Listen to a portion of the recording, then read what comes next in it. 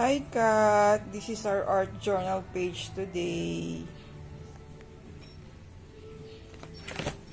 It is from our discovery journal Kat.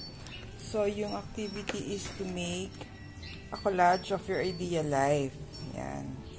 So I got this from a magazine. Ayan o. Oh. It's um, in the woods, uh, log house in the woods, di ba? So we have our own house, but sana we have a vacation house in the woods with all these beautiful flowers. So sabi ko nga, home is where the heart is. Yan.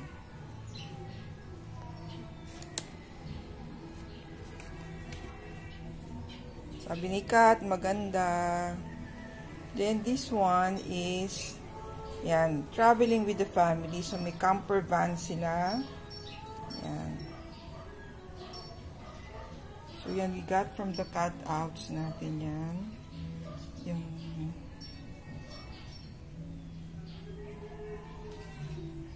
This is the butterfly.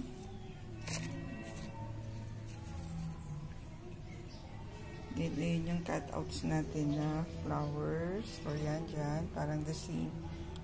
Give proper yan. Yung nilagay natin dito. Then, the butterflies, cut out din sa proppers natin. Yan. So, yung flowers, yan. Sa proper, di cut out din yan. Then, yung mga flowers, yan yung mga flowers. Flowers, so, kinabit natin on our page. ito naman, bigay natin, traveling with family. So, that's the ideal life that we want or looking forward to that moment. We can travel again with the family. Yan ang ganda oh. and yan doing a vacation sa log house in the woods. Home is where the heart is ang title natin sa art journal natin today. So yung traveling with the family tsaka so we use our pen and our uh, pilot sign pen to the lettering. Ayan. And then, we paste it with our glue stick. Ayan, yung glue stick natin. Yun ang pinundikit natin.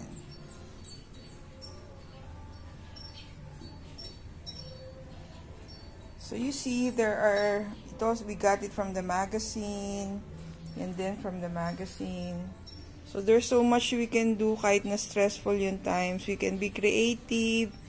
We can uh, just simple materials. We can make collages, art crafts, or yan.